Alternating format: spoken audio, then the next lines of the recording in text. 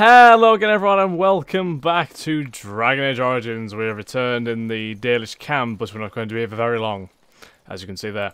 Um, okay, what I think we're going to do, we're going to go back to the um, the party camp, because obviously we have gotten uh, Zevran now, our little uh, elven friend. Um, so since we've done a bit of advancement in the story, I'm going to like going to talk to a few people in the camps to see what they have to say because obviously we can learn about Zevran as well, see what he's all about. Filthy. Oh. I can smell him 50 yards off. Leave him alone. I'm sure you're exaggerating. That may be so, but all the same, I would like your permission to bathe him. Uh, you can just wave your staff and make him clean. Can't say that. Go on, he's getting a little rank. Excellent. I will get my soaps, and the dog shall have his bath after supper. Sorry, Jacob, but you know, personal hygiene is is is is is, is key to uh, to defeating the the darkspawn. I feel so. Uh, that's pet pet Jacob. There you go. He's having fun, right? Uh, speak to Alistair. Something on your mind? See if he's got to say anything. Of course. Uh, Such as they are. Nope, nothing About from him there. Something on your mind? Okay speak to Sten. You called. Sten is probably the one person I've just, who I think I've spoken to the least. I think he's like the. I am hardly surprised. he just kind of like sits in the camp. Very well. And just exists. As but uh, hopefully I'll be able to get his sword back for him because they're not bad. I just think I just prefer other people. Uh, never mind. I don't think there's really anything pertinent. Maybe Morrigan. Can I speak to Morrigan about anything? I have a thought. She's gonna fucking disapprove about something, isn't she? Uh, just the one? Oh, well, what's on your mind? We have an opportunity that I believe we should take advantage of. All right. To the point. My mother was once divested of a particular grimoire by a most annoying Templar hunter. It occurred long before I was born, but even today, Flemeth speaks of the loss with great rage. With the circle of magi in such disarray, it occurs to me that this might be the perfect time to recover the tome from their possession, for surely it eventually ah. ended up in their hands. Okay. What makes you think the mages still have this book? Flemeth is a sorceress of legend, is she not? And her grimoire would be more than a mere curiosity to mages that daren't even glance towards the places my mother has walked for eons. no doubt tis considered something dangerous, perhaps best locked away somewhere dark, yes? And if not, then at least I know it does not exist. But there is no harm in looking, surely? Very true. What's wrong with this grimoire exactly? Tis a book of spells, of the sort that Flemeth has dabbled with throughout her long life. Tis not the sort of thing that would benefit a mage of the standard variety. They were taught a different path. I, however, was taught by my mother. I know a way around the wards my mother would have placed on such a tome. I know the language that she would have written it in. I would find such a tome most useful. Sure you would. Useful in what way? Useful in the way that it might increase my power. Useful in the way that I would become more useful to you. Does that not follow? All right, calm down. uh, how do you know, how do I know it's not dangerous? Dangerous? All knowledge is potentially dangerous. If you have True, some well fear of me such that I should not be allowed such knowledge, then by all means deprive me of it. I have no ulterior motive for seeking it, however. Hmm. Uh, very well. If we to the tower, I'll look for it. Good. I am most interested to see its contents, should it be located. The grimoire is Maybe we can head back there at some point. adorned with the symbol of a leafless tree, should you come across it. If not, however, then I shall simply put it out of my mind. Adorned with the symbol of a leafless tree, Flemeth's Grimoire. Okay, we shall we shall keep an eye out for that then.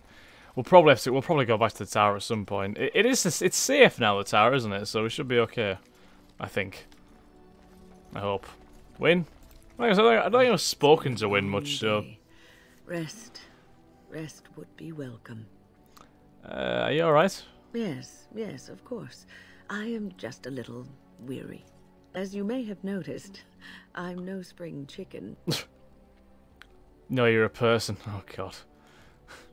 You are very sprightly for your age, though. Thank you. You're very kind to say so. I- I'm a nice person. But in all honesty, I do not know how many years I have left in me.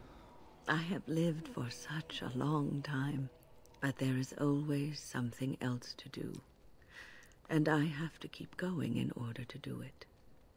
I think I will be glad when I am done. I'm sure you'll be kicking around for years, yes. Oh, I don't know. I really don't. Oh, come on, Wynne. You, you, you'll be have fine. you encountered many abominations, apart from the ones in the Circle Tower? Uh, well, there was Connor. Ah, yes, Connor, of course. The first time I saw an abomination, my blood turned to ice. It was months before the nightmares stopped. It was the knowledge that I could easily become one of them that frightened me the most. Just quite terrifying. One slip. All it takes is one slip, and everything you are is simply gone. Replaced by madness. We shall not slip, and there though. is no turning back. We're not slipping. Or at least that's what they say. You have doubts? Of late, I have begun to wonder if. If there is any way an abomination can be. cured. Or if a mage could be so possessed and still retain their sanity, their humanity. Hmm. 400 Saints, one's humanity, one is not an abomination. Yes, it is madness and cruelty that define abominations. If those are lacking, if the mage remembers the person they truly are, then they are not an abomination. I never saw that. Thank you for showing me another way of looking at it. Yep. You're very welcome. So, tell me, how did you become a Grey Warden? Well, I met Duncan, he likes me. Uh, Arl Howe masking my family, Dun- Duncan helped me escape. Arl Rendon Howe? The Arl of Amaranthine? Why would he do such a thing to you? Uh, I'm the son of Bryce Cousland, son of Highever. You are. You are the last of the Couslands? I had no idea. My lord? Don't, I'm just a Grey Warden now. Yes, I suppose so. You can no longer have a title, can you? But that does not mean you must forget utterly where you came from. Take heart, dear friend. You survived, even when you were not expected to. We do not know yet what lies in store for you, or the name you carry. It is not so bad, is it, being a Grey Warden? Be nice if, if my family was alive.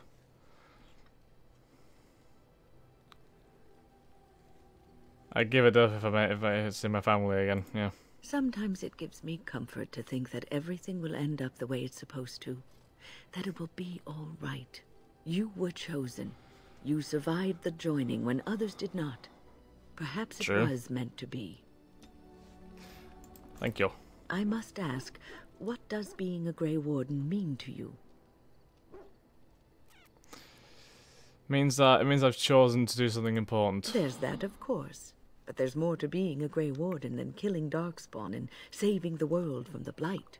Ultimately, Well, y- y- Being a y- Grey y- you are a symbol of, of, of, peace as Grey about Warden. serving all people, whether elves or dwarves or men.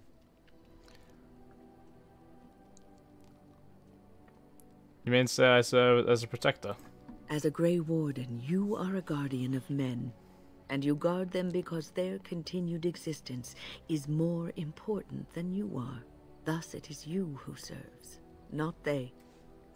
I'll keep that in mind.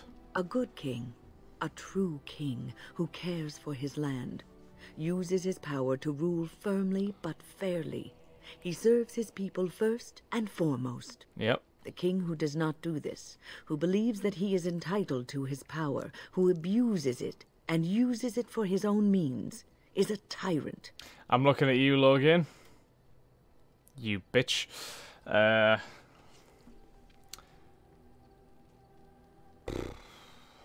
So no way having power confines you. If you live apart from others and your actions affect only you, then you may do as you wish. But if you have power, influence, and strength, your every action will be as a drop of water in a clear, still pond. The drop causes ripples, and ripples spread. Think of how far they will go, How wide they will become. How will they affect the pond? But I've lectured enough for today. I She's, uh, before I wear out my welcome. She's wise beyond her years, is Wynne, isn't she? Is there something you need? Anything else I can ask her? Why, di- why didn't you want to stay at the tower? The circle is in good hands. Irving knows what to do, and he doesn't need me underfoot. For now, I will support those that battle the Darkspawn. I do feel I left things unfinished in Ostagar. There is so much left to do, and I would be part of it. Well said. I'm glad for your company. The Grey Wardens, all two of you, need all the help you can get. There's two of us I left. will see this through to the bitter end. that's a scary after thought. that, if I am still left standing, then I will return to the circle. I'm sure you'll be able to return if you so choose. Perhaps. Is there something you need? I will answer to the best of my ability. How did you become a mage? People don't become mages, they are born mages. The talent just surfaces later. But you are asking how I ended up at the Circle. I was brought there by the Templars, just like many of the other apprentices. I don't remember very much. I was very young then. What about your family? I didn't have a family. I never knew my real parents. My earliest memory was of hiding in a hayloft on a farm, trying to keep warm. Blimey. I was found, and the farmer's wife was kind enough not to send me away. But they had children of their own, and I was never made to feel welcome. The eldest son was the worst. He was always calling me a stray, and throwing anything he could get his hands on at me. And I Why are don't some people so mean? Happened, but one day he just found his hair on fire. Fortunately, there was a large trough nearby. And you didn't, uh, you didn't have anything to to, to do with this, would you, Wynne? Did you? No, no, no. Was he seriously hurt? I had singed his hair and eyebrows, but injured little other than his pride. Who knows what they would have done to me had he been more seriously hurt. Thankfully, all I had to endure was a few nights locked in a cold barn with a bowl of water and a crust of bread. The Templars arrived several mornings later.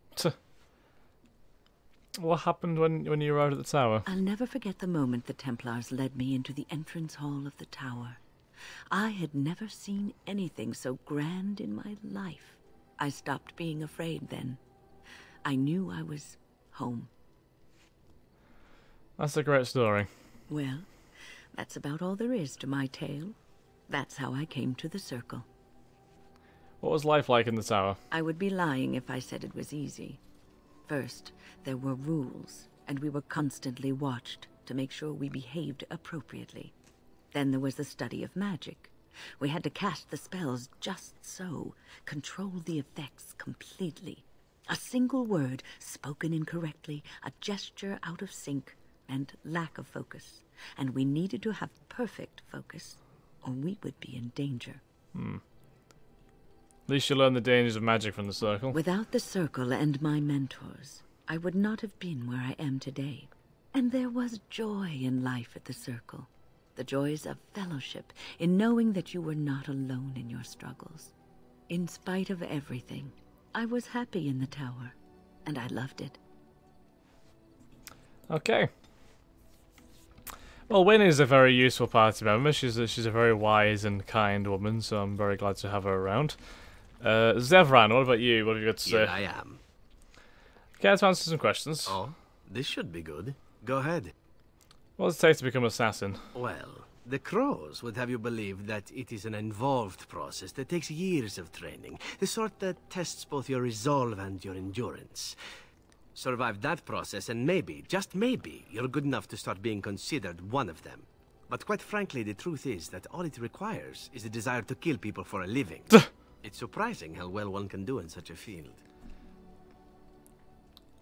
So you have to be a murderer. Now, now, it need not be thought of so crudely. We all do our share of murdering around here, don't we? An assassin simply specializes in striking from stealth, and in maximizing that first attack to be as lethal as possible. Debilitate your foe, either by poison or by crippling their limbs, makes any follow-up combat you need to engage in that much simpler. Fair enough. That sounds like it could be useful. See? Getting paid for the act is beside the point. An assassin is more a tactical choice than a lifestyle. Of course, the crows like to pretend that their abilities are trade secrets, shrouded in shadows and wrapped in a blanket of mystery. So let's just keep this between you and me, shall we? Hmm? Oh, he disapproves. So Here I am. it's probably because I called him a murderer. I, I do apologise, Evan. Oh, I certainly could, but I won't. I swore to the crows that the things they taught me were to remain a secret. And while, yes, they are already angry at me, I'd rather not push things, you see. Okay. You don't think this is important? I said, I said very well. If you you are truly insistent, well, let me think about it. The crows are already angry at me, yes? Who knows? Here I am. I, I reckon he'll probably do it if you get his approval up. So we'll just leave that. Care to answer some Oh, questions? this should be good. Got some Go more ahead. for him. Why do you want to leave the crows exactly? Well, now, I imagine that's a very fair question. Being an assassin, after all, is a, a living, at least as far as such things go. I was simply never given the opportunity to choose another way. So, if that choice presents itself, why should I not seize upon it? You didn't choose to join the crows? Hmm. To be truthful, I didn't even know the crows existed when I joined them. Wow. I was but a boy of seven when I was purchased. For three sovereigns, I'm told. Which is a good price, considering I was all ribs and bone and didn't know the pommel of a dagger from the pointy end. the crows buy all their assassins that way. Buy them young, raise them to know nothing else but murder. And if you do poorly in your training, you die. How that system works? Of course. You compete against your fellow assassins, and those who survive are rightfully proud of it. In Antiva, being a crow gets you respect. It gets you wealth. Gets you women. And men. Or whatever it is you might fancy. but that does not mean doing what is expected of you always. And it means being expendable. It's a cage, if a gilded cage. Pretty, but confining. Hmm. So what is it you fancy exactly? I fancy many things. I fancy things that are beautiful and things that are strong. I fancy things that are dangerous and exciting. Would you be offended if I said I fancied you?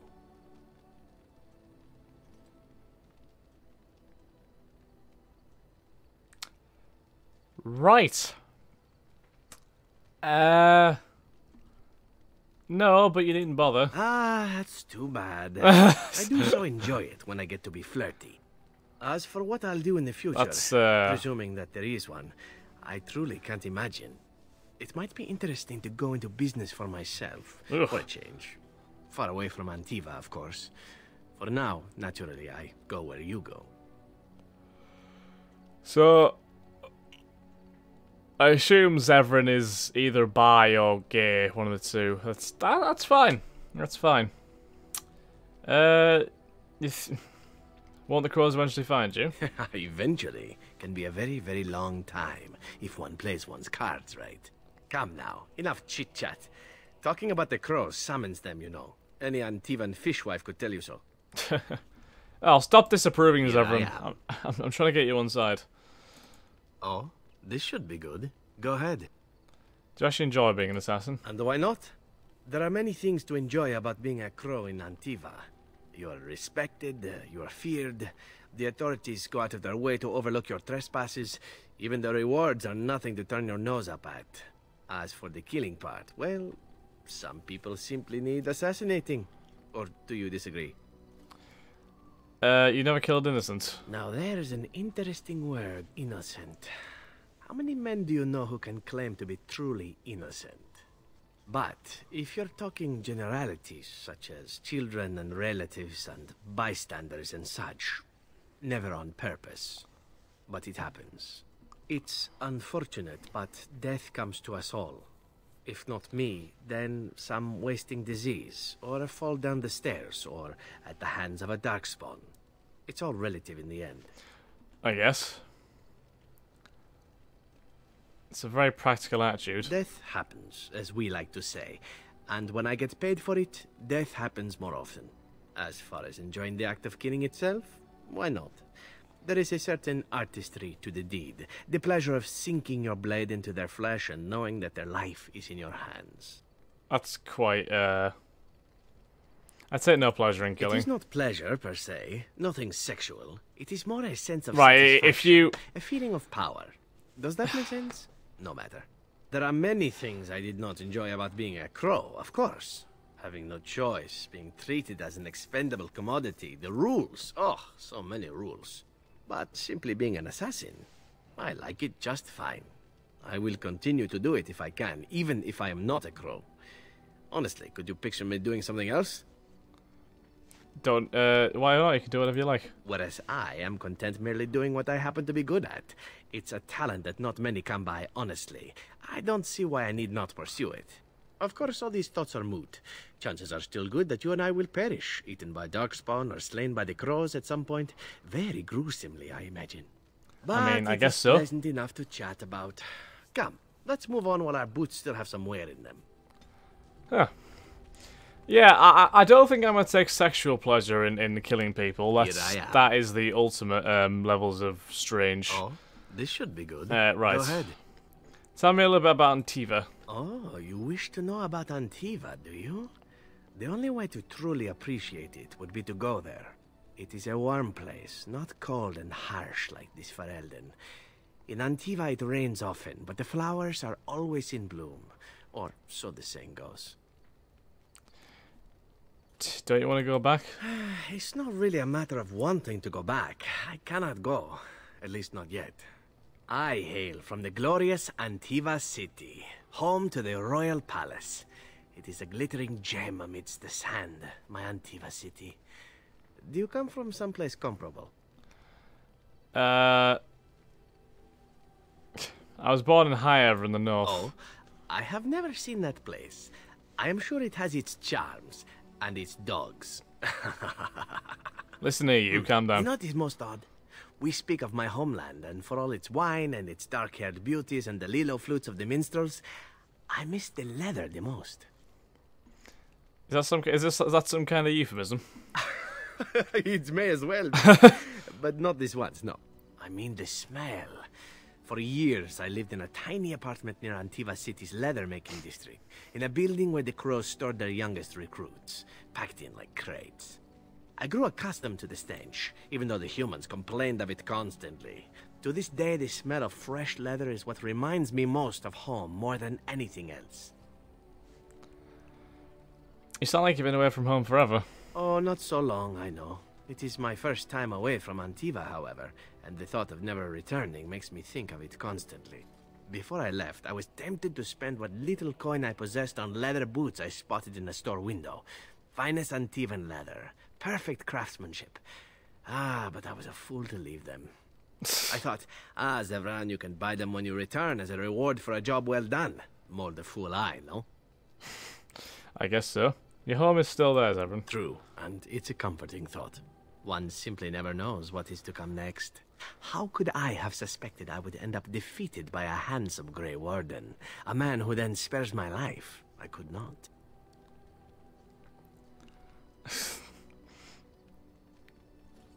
Hans. Everyone makes mistakes. Even Grey Wardens who spare the lives of assassins? Understood. now, if it is all the same to you, I would prefer not to speak more of Antiva. It makes me wistful and hungry for a proper meal.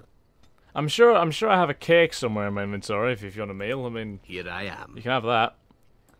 Oh, this should be good. Go ahead. Anything else? Where's your opinion of the Dalish? I know little enough of the Dalish other than the fact that my mother was one, or so I was told.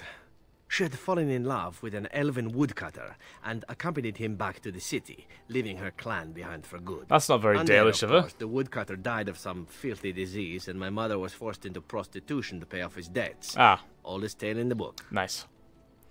Zevran, that's horrible. Is it? It seemed normal enough a tale growing up. No different than the other elven boys in the whorehouse. I didn't know my mother either, of course. She died giving birth to me. Oh, My first victim, as it were. We were all raised communally by the whores. It was a happy enough existence, ignoring the occasional beating. Until eventually I was sold to the crows. I brought a good price, so I hear. I'm. I'm so sorry for you, Zevran. That's very kind of you to say, but it is not necessary. It could have been much worse. Shall I tell you about what happened to the other whorehouse boys who did not fetch a decent price with the crows? Surely your life has not been so idyllic. People like you and I are not the product of happy lives of contentment, after all. You can say that again. My original point is that my mother's Dalish nature was always a point of fascination for me. Through all the years of my crow training, the one thing of my mother's that I possessed was a pair of gloves. They were of Dalish make, I knew that much, and beautiful. I had to keep them hidden, of course, as we were not allowed such things. Eventually, they were discovered, and I never saw them again. I do have Dalish gloves, don't I? I can give them to him. How do you feel about the Dalish in general? I don't feel anything about them. Oh, we heard about them in the city, even deep in Antiva. I even had the notion once to run off and join them. Blimey. Naturally, the reality did not live up at all to the fantasies I had constructed as a boy, staring at those gloves. But such is life. Come, enough talk of the Dalish. Let us move on. No problemo. Here I am. At least we're actually getting him on side now. Oh, I don't think it's got any more Go options ahead. than this. No. Right. Let's ask him Here personal questions. oh, this should be good. What would you like to discuss?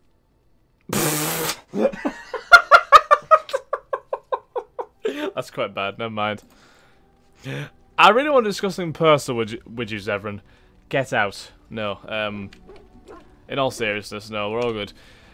Let's try and give uh, Wynne and Zevran some gifts, though, if possible. I'm sure we have something we can give to them. Some of these little uh, amulet of memories. A cat lady's hobble stick. What? Unless there's anything in particular that that, that, that she wants. Uh. That is nice. Ah! Thank you. Shit! Oh, I didn't mean to do that. Oh no, what have I done? Here, have this. Okay. Thank you ever so Oh, much. I, oh, I didn't. Oh. Oh, uh, I should have known. It's a hobble stick, for God's sake. Wynne can summon a memory. Really? Well, at least we at least we got got, got her back up to kind of approval plus fifteen hostile. I don't think that's quite right. Uh, well, I apologise for that Wynne. I, I didn't mean that. That was that was a pretty horrible uh, mishap by myself. Uh, and he will surely want the Dalish gloves, won't he? There we are. Gloves? You're giving me gloves? What for? They're Dalish gloves, like your mother's. I. Maker's breath. You're right. It is like my mother's. The leather was less thick and it had more embroidery, but these are very close and quite handsome. You're welcome. Do I seem surprised? Perhaps I am. Still, I appreciate the fact that you even thought of me. No one has simply given me a gift before. Thank you. You're very welcome, Zevran. That was so worrying. I actually thought I just I just basically totally screwed up Wynne's relationship with me. She is still hostile though, apparently. Does she does she respond differently if I try to speak to her now? Because I feel like I've well and truly goofed there. Is there something you need? I will answer to the best of my ability. Does she? No. Okay, never mind. I I think she'll be okay. I hope. Right, who else have who else have we not spoken to? Oh, Leliana, of course. Something I can help with? Yes? Anything else? What's on your mind? I think she's gone through all the tales, hasn't- she? So I don't think we have anything else. So that's pretty much everybody then. Okay. Right. In that case, uh, we shall end this episode here, guys. I know not a lot has happened, but it's nice to talk to talk, talk to the, the new party members, get a bit of backstory, understand them a bit more. Wynne is someone who I really like. She seems very wise and friendly, and uh, I think she'll be very useful because she's quite a useful mage in combat as well. And Zevran has his faults, but yeah, he, he's, he's he's not that bad. He's, he's not that bad. He's he's he's, he's all right. He's decent. So yeah, I'll definitely give it. I I'm not gonna send anybody away. Definitely not. Um, but yeah, thank you very much for watching, guys. I do hope you've enjoyed, and I will catch you in the next episode of Dragon Age Origins. That's it, guys. Have a nice day. Bye bye.